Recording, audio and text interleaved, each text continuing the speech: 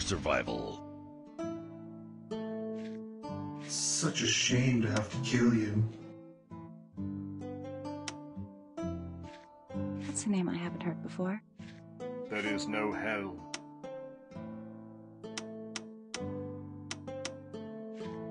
Your destiny depends upon your own decisions. It was a world of peace.